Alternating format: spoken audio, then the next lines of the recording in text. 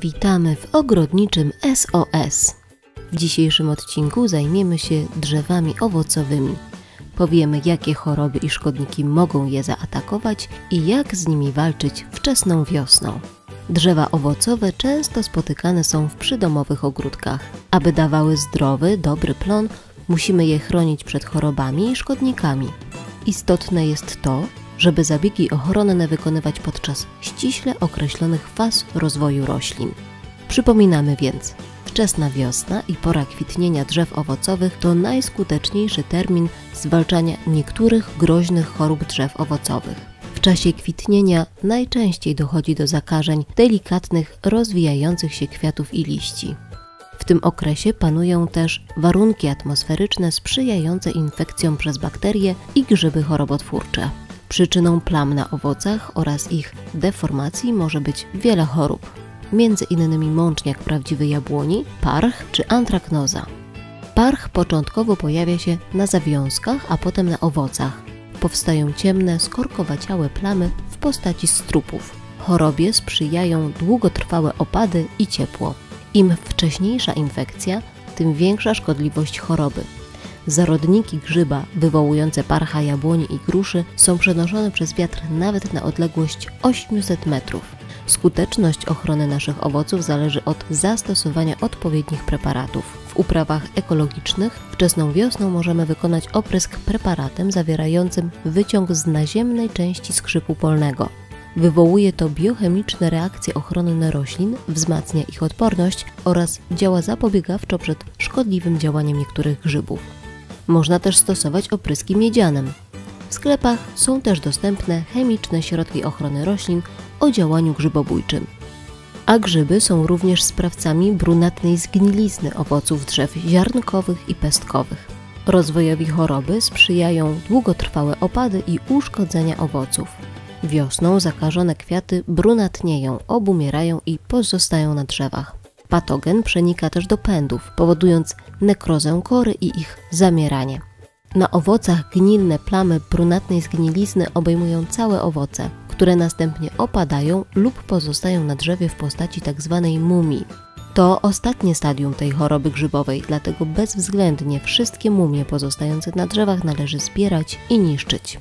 Do ochrony przed chorobami grzybowymi w amatorskiej uprawie drzew owocowych zaleca się w okresie wczesnowiosennym wykonanie oprysku miedzianem.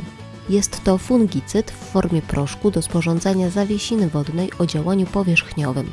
Jony miedzi dostają się do zarodników grzybów chorobotwórczych, blokując ich kiełkowanie i dalszy rozwój. Miedzian stosujemy też do oprysków brzoskwini. Brzoskwinie należą do tych drzew owocowych, które wymagają szybkiego reagowania. Wiosną przede wszystkim przeprowadzamy zabiegi przeciw kędzierzawości liści brzoskwini.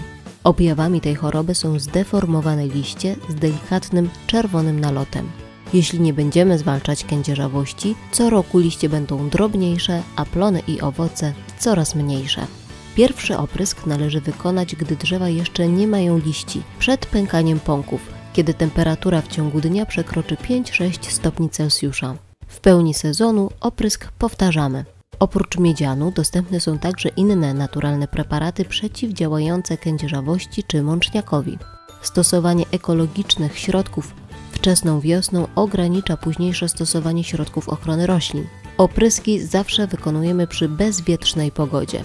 W ciągu co najmniej dwóch dni od zabiegu nie powinny występować deszcze. W okresie różowego pąka i kwitnienia groźne są grzyby powodujące plamistości liści między innymi drobną plamistość liści drzew pestkowych i jabłoni czy białą plamistość liści gruszy. Objawy w postaci drobnych plam widoczne są już przed dojrzewaniem owoców.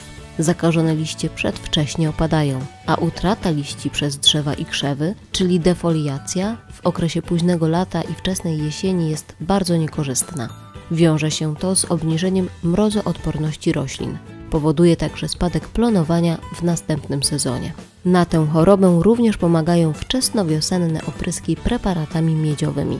Aby jabłka, gruszki czy inne owoce były smaczne i zdrowe, musimy je także chronić przed szkodnikami, między innymi przed mszycami, miodówkami, gąsienicami, przędziorkami czy innymi niepożądanymi owadami. W przypadku szkodników bardzo ważna jest profilaktyka. Zazwyczaj najszybciej na naszych drzewach owocowych zauważymy mszyce.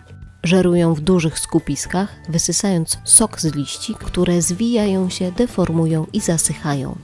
Mszyce wydzielają spać, co jest przyczyną pojawiania się patogenów chorobotwórczych. Ważną rolę w ich zwalczaniu pełnią owady drapieżne. Dlatego likwidację mszyc warto rozpocząć od metod naturalnych.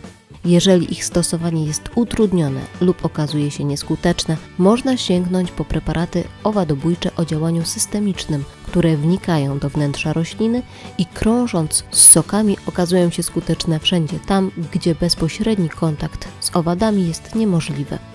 Do tematu drzew owocowych będziemy jeszcze wracać. Tymczasem w kolejnym odcinku ogrodniczego SOS zajmiemy się drzewami i krzewami ozdobnymi.